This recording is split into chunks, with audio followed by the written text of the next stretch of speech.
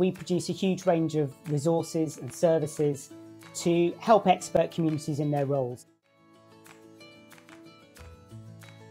So the resources that we produce uh, help researchers to get published. We help uh, editors to, to, to, run their journals. And um, we provide the information that the librarians need about our services and uh, about our uh, policies.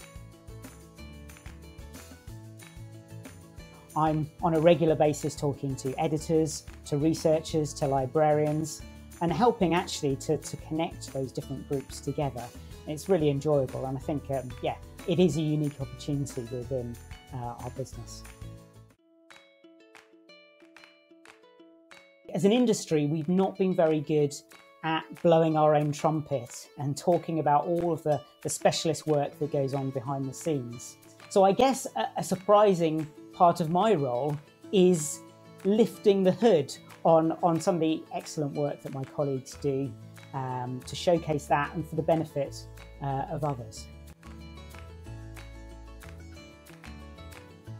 I'm proud that, that, that my team's contribution is helping researchers from underrepresented areas to get published and for their work to get the readership that it deserves.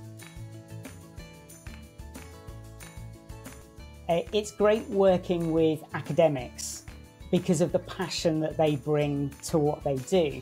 And so, although I'm not a researcher myself, um, I get a lot of satisfaction from being part of that process, particularly when it comes to helping researchers share their research with people who can build on it or put it into action. I do think that, that helping researchers to overcome the obstacles to embracing open research is going to be one of the, the, priorities for, for the coming years.